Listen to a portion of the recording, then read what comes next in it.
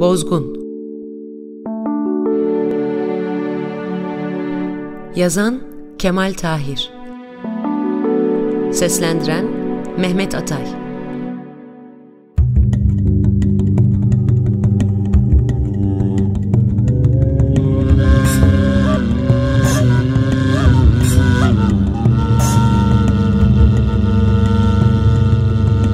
Üçüncü defa yaralanmama meydan kalmadı. Fırkamız cepheden geriye alınarak Burdur'a gönderildi. Bandırmadan odun yakan seferberlik trenlerinden birine binerek yola çıktık. 10 günde mi, 20 günde mi Baladız istasyonunu tutabildik. Güzel ve soğuk bir bahar günüydü. İstasyondan şehre 4 saatlik araba yolu vardı. Burdur'un Tuzlu Gölü ile Çıplak Ova'yı sağımıza, birer kelle şekerine benzeyen kireçli beyaz tepeleri solumuza alarak hareket ettik. Şehre yaklaştıkça rüzgar acayipleşiyordu. Ben bu kadar dünya gezdim, hiçbir yerde böyle güzel, buram buram kokan rüzgar görmedim. Burdur'un etrafı gül bahçeleriyle çevrilmişti. Gül yağı çıkarıldığı aylarda sokakların dar ve çamurlu arklarından adeta gül suyu akıyor, çeşit çeşit güller öyle demetle değil, eşek yüküyle alınıp satılıyordu. Uzatmayalım, bir sene evvel zelzeleden yarı yarıya harap olmuş şehre, Ermeni tehciri dolayısıyla boşalmış bir sürü ev bulunduğu için sere serpe dağıldık. Ben, hükümet konağıyla fırka karargahı arasında acele çekilmiş şosenin üzerinde iki katlı, ahşap ve burada ender görülen damı kiremitli bir papazın boş evine yerleştim. Emir Berim Bursalı Hüseyin Onbaşı alt katta yatıyor, orta yaşlı bir Ermeni kadının sabah gelip akşam gitmek pazarlığıyla işlerimizi görüyordu. Sessiz hayatı bir müddet yadırgadık ama sonra yavaşça intibak ettik. Gündüzleri uzun at gezintilerine çıkıyor, akşamları arkadaş evlerine toplanarak tavla oynuyorduk. Burdur ana yollara sapa düştüğü için gazeteler ve resmi tebliğler gelmiyor, şoseden cepheye giden asker kolları geçmiyordu.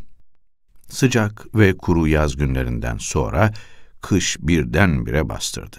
Kar hiç dinmeyecek gibi yağıyor, tipiden yol boyundaki kavakların uçları görünmüyordu.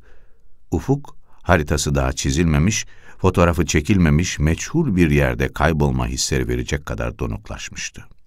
Boş odada, beyaz dağlar ve açık deniz boğazları kapanmış sakin bir liman gibi duran göl, sanki artık yerlerinde değildiler. İnsanlar toprak damlı kaba yatkın evlerine çekilmişlerdi. Hayvanların nereye gittiğini merak bile etmiyordum. İstasyona gönderdiğimiz postacılar haftalardan beri elleri boş dönüyorlardı. Tipinin çok yıkanmaktan lime lime olmuş ıslak bir yatak çarşafı gibi insanın yüzüne sarıldığı bir akşamüstü eve geldim. Ermeni hizmetçi daha gitmemişti, kapıyı telaşla açtı. Ne o dedim, sen daha gitmedin mi? Bir başkasının kabahatini söylüyormuş gibi acele acele, bir şey oluyor beyim dedi, şu karşıya bakın bir kere. Parmağın ucundan şoseye baktım, fevkalade bir şey göremedim, tekrar, bir şey oluyor dedi, dikkat edin. Deminden beri oraya oturdu. Bir asker üstünü kar örttü, kımıldamıyor. Benim cevap vermeme sıra kalmadan arkamda duran Hüseyin merdivenleri üçer dörder inerek karın içine daldı. Ben de arkasından yürüdüm. Galiba şosenin kenarındaki çürümüş kütüklerden birinin üstüne oturmuştu. Başını göğsüne iyice eğdi ve ellerini sımsıkı koltuk altlarına soktuğu için yamru yumru bir yuvarlaklığı vardı. Nefes almıyor, hareket etmiyordu.'' Hüseyin omuzlarını tutup sarsınca kafası koparılmış bir kardan adama benzeyen bu yığının dağılıp parça parça olacağını zannettim. Ölmüş mü diye sordum. Bu sual daima korkunçtur. Emir Berim bana cevap vermeden seslendi. Hemşeri, hemşeri, hey hemşeri. Bir inilti mi duyduk? Yoksa çitlerin üzerinden bir sağanak mı geçti farkında değildim. Hüseyin, sen şunun kollarını oynatı oynatı ver yüzbaşım dedi ben beygiri getireyim. Beygir geldiği zaman tutmakta olduğum bileklerde belli belirsiz bir sıcaklık hissetmiştim. Hüseyin onu hayvanın üstüne ince uzun bir torba gibi attı. Talihi varmış fakirin yüzbaşım dedi. Hastanenin hamamı yanıyor, yaşayacaksa yaşar.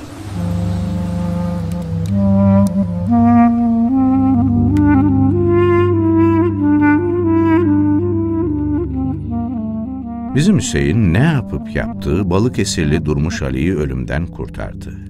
Kendisini toplayıncaya kadar her gün gidip hastanede yokladı. Tütün yemiş götürdü. İshal olmuş, tebdili hava vermişler diye anlatıyordu. Karda kıyamette hasta herif yola koyulur mu? Isparta'dan bir arabacı sevabına Işıklar Köyü'ne kadar getirmiş. Buradan Burdur iki saat çeker. Bir gayret et, orada sevkiyat da var. Hastanede derdine bakarlar. Beylik askeri arabası mı olur? Mekkare katırı mı olur? Bir şeyle tren iskelesine gidersin, demiş. Allah'ın garibi yol iz bilir mi? Bizim evin önüne kadar nasıl geldiği de akıllara hayret. Ermeni karısının yediği haltı gördün mü yüzbaşım? Biraz daha deyivermeseymiş bizim Ali gitti gidermiş. Ali'yi Hüseyin'in ısrarıyla tedbili hava dönüşü kıtasına göndermedik. Seyis olarak yanıma aldım. Arada bir dinlemeye doyum olmaz bir safiyette atışırlar, sonra hemen barışırlardı. Hüseyin Ali'den daha nobrandı. Bir surat asarsa kolay kolay gülmüyordu.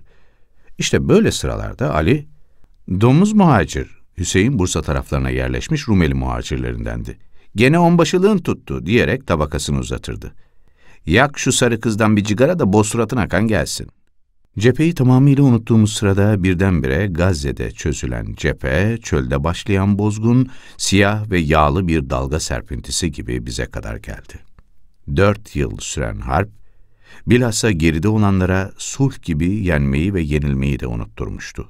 Çırılçıplak kalmışız gibi utanıyorduk. Fakat mağlubiyet kayan toprak parçaları gibi şaşkınlığımızı da beraber sürükledi. Yağmurlu bir günde artık insanları değil, bozgunu taşıyan ihtiyar ve hasta trenlere dolduk.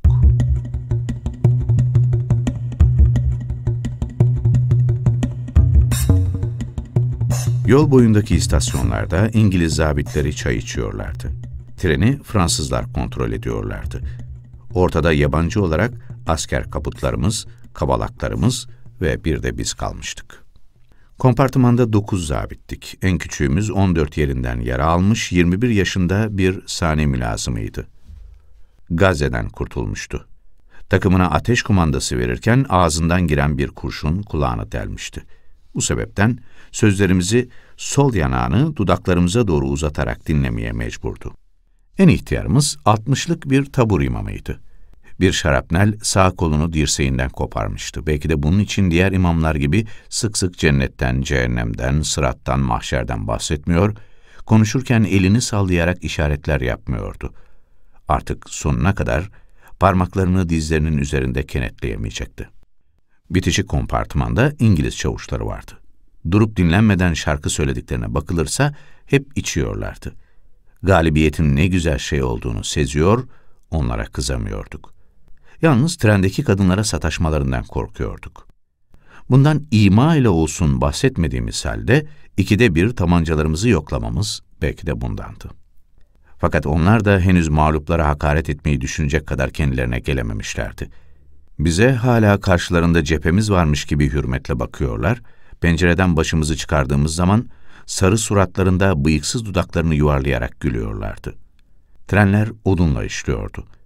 Bu nedenle orman kenarlarında durup odun kesmek icap ediyordu. Bir keresinde üç arkadaş yere indik. Uyuşuk ayaklarımızı açmak ve üşümemek için vagonun önünde aşağı yukarı dolaşmaya başladık. Kaputlarımızın rengi çoktan uçmuş, tıraşımız uzamıştı. Yanımıza iki İngiliz çavuşu yaklaştı. Galiba halimize acımışlardı. Bize konyak ve çikolata ikram ettiler. Küçük ihtiyat zabitiyle tabur imamından başka hepimiz ikramı hoş gördük. Yalnız ikisi daha çok somurttular ve teşekküre lüzum görmeden başlarıyla reddettiler. Tren tahmin edilemeyecek derecede doluydu. Hüseyin'i bir yük vagonunun fren kulesine kumandanın er çavuşunun yanına zorlukla yerleştirmiştim. Ali'nin nerede gittiğini sormadım bile. Sade basamaklarda değil, vagonların üstünde bile askerler vardı. Omuzlarında dört yıllık hasretlerini, yüzlerinde boş gözlerini geri götürüyorlardı.'' Yarısından fazlası hasta ve açtı. Tünellerden geçerken vagonların damına sımsıkı kapanmayanları tünelin üst tarafının süpürüp götürdüğü, biraz dalgın olanların ağaç dallarına takılarak yuvarlandıklarını söylüyorlardı. Yani yol boyunca bir süngü hücumundan gelir gibi biçimsiz haki tümsekler bırakarak dönüyorduk. Ekmek hırsızlığı ve dilencilik başlamıştı. İstasyonlardaki sıkı tertibatın sebebi anlaşılıyordu. Dükkanlar ve kasabalar yağmadan korkuyorlardı. Bozgun, kaideleri ve ahlakı alt üst etmişe benziyordu. Ve galiba eve gidebilmek için artık her şey mübahtı. Halbuki bizim askerin hiç düşünmediği şey dilenmek, hiç aklına getirmediği şey çapuldur.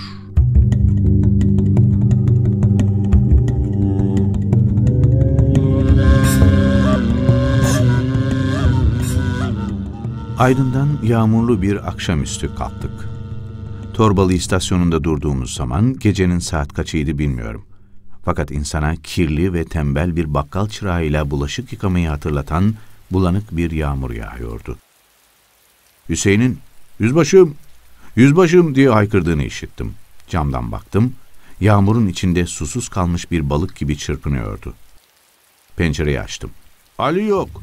Bizim Ali 40 kişiliğin üstünde geliyordu. Düşmüş yüzbaşım, Ali düşmüş. Hareket kampanası çaldı. O anda içime öyle geldi ki Hüseyin'in artık trenle alakası kalmamıştı.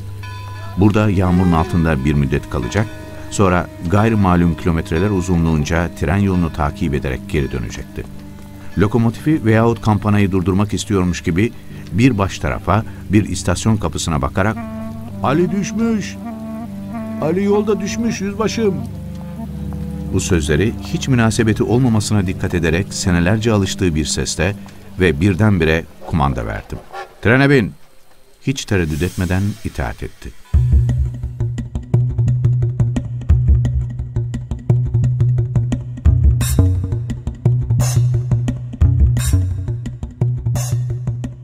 İzmir'e kadar benimle karşı karşıya gelmemeye çalıştı. Konuşurken kelimelerinin arasında onu isteseydin kurtaramaz mıydın? Koca bir yüzbaşısın, bir seyisine yer bulunmaz mı? Sende de kabahat var diye itham ettiğini seziyordum. Fakat İzmir'de hiçbir şey kaybetmemiş bir insan gibi sakinleşmişti. Gittikçe sinirli olduğumu seziyor, başım belaya girecek diye peşimden ayrılmıyordu. Beraber çarşıya çıktık. Şehirde yabancı bayrakların ve üniformaların renklerinden, ecnebi kelimelerin ahenginden gelmeye korkunç bir karışıklık vardı. Hiçbir nizam kalmamıştı. Düşman torpidolarının kıçtan karaya bağlı durduğu kordon boyundan geçerken sıra sıra işportalar gördüm. Ulu orta kaçak tütün satılıyordu. Küçük, sarımtırak tütün tepeciklerine kağıttan yapılmış küçük ecnebi bayrakları dikilmişti. Kasketini sağ kulağına eğmiş bir palikaryaya yaklaştım. Hayrola dedim. Bu ne hal? Reji yok mu? Üç tane Fransız bahriyelisi de benimle beraber durmuştu. Bir tanesi küt parmaklarıyla tütünü ufalıyordu. Rum delikanlısı, yok dedi. Daha iyi değil mi? Kapalı paketin içinde ne olduğunu bilmeden alıyordunuz. Şimdi görüp beğeniyorsunuz. Hem daha temiz hem daha ucuz. Dinleyenler gülmeye başlayınca Fransız bahriyelileri de kalın sesleriyle iştirak ettiler. Hemen yürüdüm, arkamdan benimle alay ediyorlarmış gibi bağırıyorlardı. Hey gidi sarı kız hey, açıldın da benzine kan geldi. Birdenbire Ali'yi hatırladım. Bir iki adım arkamdan gelen Hüseyin'in yüzüne baktım. Seyrek kirpikli gözleri yaşarmıştı. Dehşetli bir acı hissiyle hemen mevzuu değiştirmek istedim. Gülümsemeye çalışarak. Ne o Hüseyin dedim. Vatana yabancılar girdi diye mi tasalanıyorsun? Gözlerini benden saklamak istiyormuş gibi yumdu. Ali'yi hatırladım. Nur içinde yatsın. O da kaçak tütüne sarı kız derdi. Bir an durakladığını hissettim. Arkadaşının sar bir cigara da benzine kan gelsin sözünü tekrarlamaya yorulmuş gibiydi. Birkaç adım sonra nur içinde yatsın kelimelerini söylediği kadar iddiasız, sakin ve kat'i, düşmanın esamisi mi okunur diye ilave etti.